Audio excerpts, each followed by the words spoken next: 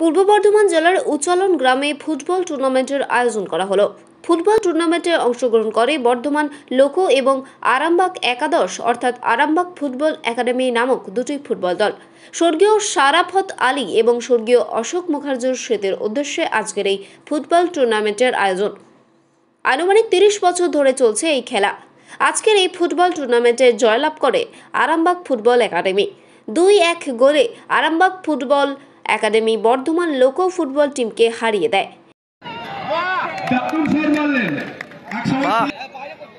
নমস্কার আনন্দ বার্তায় আপনাদের স্বাগত। আপনাদের নিউজ দেখার পর একটা লাইক এবং একটা শেয়ার করুন। ভালো ভালো নিউজ দেখতে পেজটি লাইক করে দিন। আজকে আমাদের উচালন মাঠে খেলাটা ছিল। আজকের খেলায় প্রতিদ্বন্দ্বী দুটি দল বর্ধমান লোকো এবং আরামবাগ কোচিং সেন্টার। আরামবাগের ফুটবল একাডেমি যে দল আছে দুটি দলের মধ্যে খেলা হলো। উচালন ফুটবল মাঠে খেলাটা হলো। আজকের খেলায় আরামবাগ ফুটবল একাডেমি জয়লাভ করেছে। দুই এক রেজাল্ট হয়েছে। বর্ধমান লোকও এক গোল আজকে হেরে গেছে। আজকের খেলায় উপস্থিত ছিলেন আমাদের মাধবদী থানার যিনি বড়বাবু আছেন ওসি সাহেবকে আমরা ইনভাইট করেছিলাম। উনি এসেছিলেন উত্তল সমত মহাশয়। আমাদের মধ্যে আজকে পেয়েছিলাম অসীম পাল মহাশয়কে। আনসার আলী মহাশয় ছিলেন। আমাদের আজকে আমরা ইনভাইট করেছিলাম মাস্টারমশাই, আমাদের উচ্চারণ স্কুলের যিনি মাস্টারমশাই, হেড মাস্টারমশাই এসেছিলেন।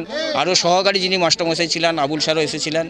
আজকে আমরা পেয়েছিলাম লক্ষ্মীকান্ত গড়াই বলে, লক্ষ্মীকান্ত গাঙ্গুলি বলে একজন ফুটবলারকে উনি কলকাতা থেকে এসেছেন আমাদের ডাকে সারা দিয়ে। আমাদেরই ক্লাব সদস্যর যোগাযোগ মারফত আমরা আনতে পেরেছি, আমাদের খুব ভালো লাগছে। আজকে তো আমার খুবই ভালো লাগছে, আজকে উচানওয়াল আমরা সবাই যে ফুটবল ক্লাবে যে এত বড় একটা উদ্যোগ নিয়ে যে আজকে যে সুন্দর পরিবেশ একটা ফুটবল উপহার দিল দর্শকদের, এটার জন্য খুবই গর্বিত বা খুবই ভালো লাগছে, বিশেষ করে আবার আমাকে যে এইখানে নিয়ে এসেছে একটা পুরনো প্রাক্তন ফুটবল প্লেয়ার হিসেবে যে আমি এখানে এসে পরিবেশ দেখলাম সুন্দর পরিবেশ।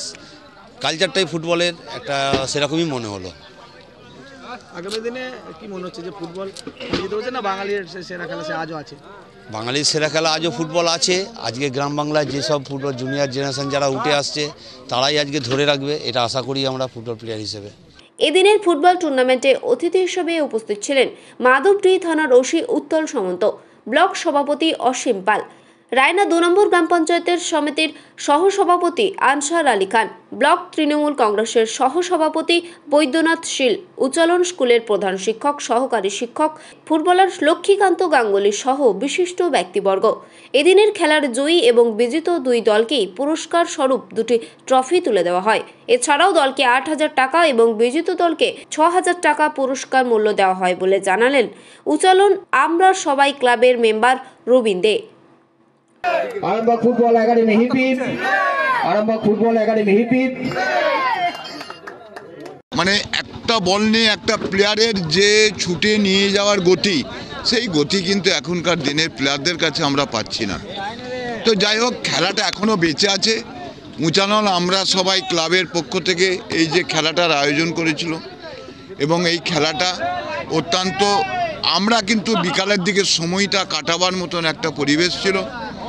আর এই মাঠ নিয়ে যেটা আলোচনা হলো, এই ক্লাবের যিনি সভাপতি, তিনি এখানে আবেদন করলেন যে এই মাঠটাকে সংরক্ষণ করা।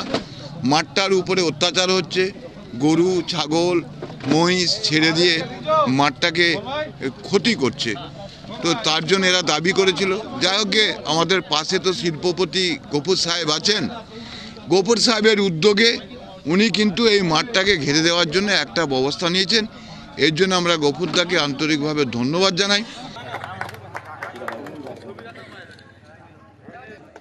পেঁচিয়ে আসবে একটু হাতে ঢুকে যাচ্ছে।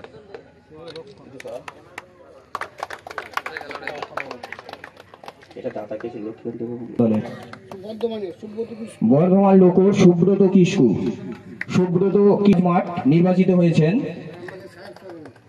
আরামবাগ বাবার স্মৃতির উদ্দেশ্যে পুরস্কারটি দিয়েছেন। আমাদের এই ক্লাব সদস্য মাস্টারমশাই তরুণ কুণ্ডু। আচ্ছা ভদ্র আচরণকারী খেলোয়াড়। বিবেকানন্দ মিষ্টান্ন ভান্ডার আদি প্রশান্ত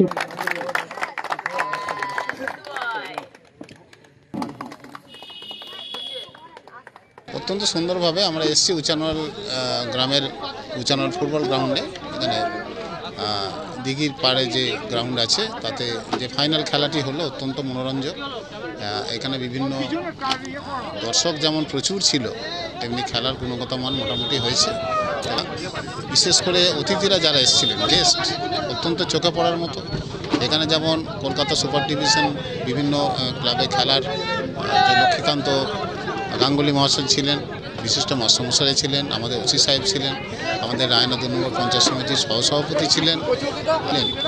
বা প্রত্যেকের সহযোগিতা খেলা আরও সুন্দর থেকে সুন্দরতর হবে মাঠের পরিবেশ আরও সুন্দর হবে এই আশা করা যায়। কার্তিক রায় কার্তিক রায়কে আমি মঞ্চে আসার জন্য বলছি আসার জন্য বলছি। কমল রায়।